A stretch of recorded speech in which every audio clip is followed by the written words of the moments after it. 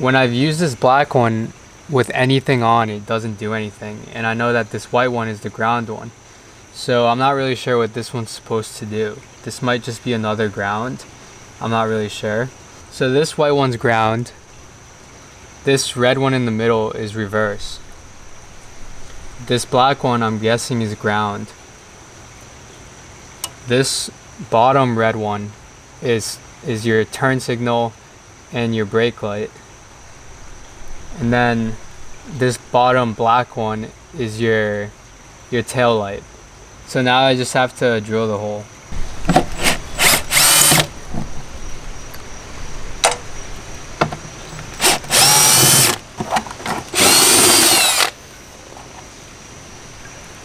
I'm just trying to make the cut end right at the bottom of this just so I can keep track on both sides So I just realized I'm gonna have to go a little bit lower, cause just cause this thing's in the way.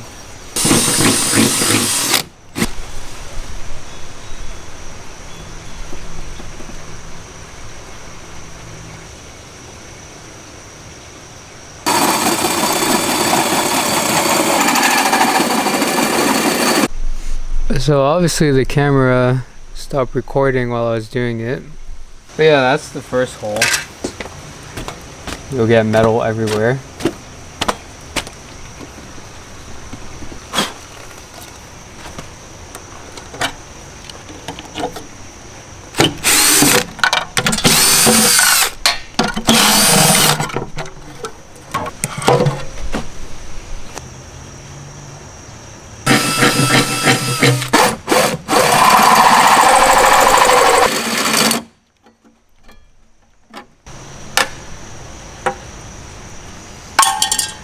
So the drill I have sucks and it overheated. I'm gonna have to sand that.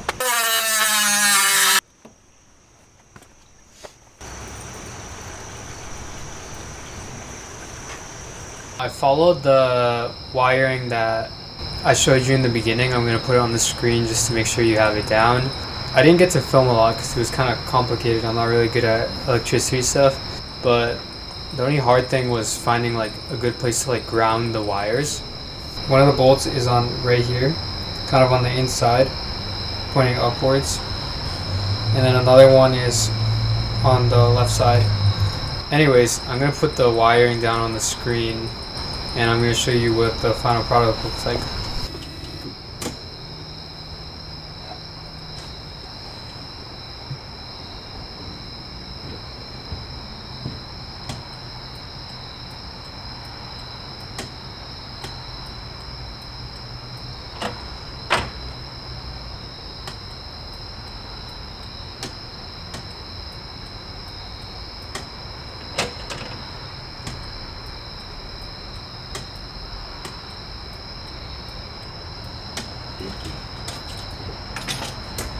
Apologies for not getting too much filming. I got kind of in the zone.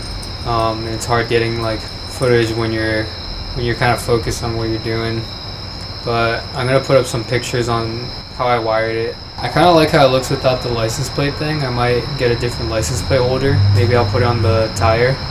And then next I'm doing LED headlights. Thanks for watching. Like and subscribe if this was helpful. And subscribe to keep up with the Jeep journey.